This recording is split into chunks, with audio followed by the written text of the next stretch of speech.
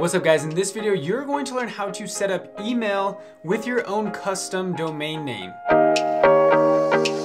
So now that you've got a blog or website or you're thinking about starting a blog or website, you're gonna wanna create an email address that uses your domain name. So if your domain name is um, bakingcookies.com, it's gonna be really nice if you can create an email like Andy or info or whatever at bakingcookies.com so that when you reach out to people to build business relationships, you're, you're gonna be a lot more respected if you use a custom domain name. And if you already use hosting, if you have a self-hosted WordPress blog, you can get a free custom email address. And it really depends on what hosting provider you're using. So I'll show you really quickly just an example of how you would set this up, I guess, using Bluehost.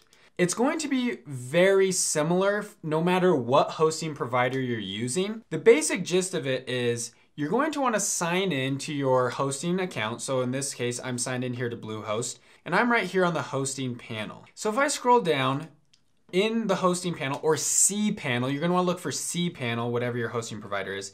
You're gonna wanna look for, there's probably gonna be a section that has to do with email and it will say email users, email managers, something like that. In this case, it's email manager. And when I click on that, you can see right here, I can create an email account. And it's just a matter of me coming up with an email address, creating a password, choosing a mailbox size, and then clicking done. It's that simple.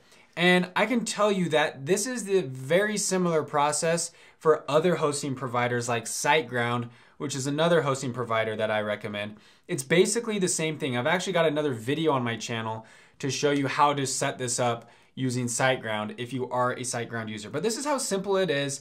Enter in a name, a password, and then click create, and then you'll have access right here to your email addresses. You can use, you know, a mail app on like your iPhone or computer to check your emails, or you can go online. There's different online platforms that you can use to check your email as well. That's it guys, that's how easy it is. If you like this video, please hit the thumbs up button for me. It helps my videos do better. And leave me a comment if you like this video or learned something or if you have any questions for me. I read all the comments I get on my channel, so I'd love to get to know you and what you're doing better. Make sure you subscribe because I've got a lot of other videos coming out to help you learn how to use technology to build an online business. Once again, my name's Andy, you're watching Learn How. We'll see you in the next video.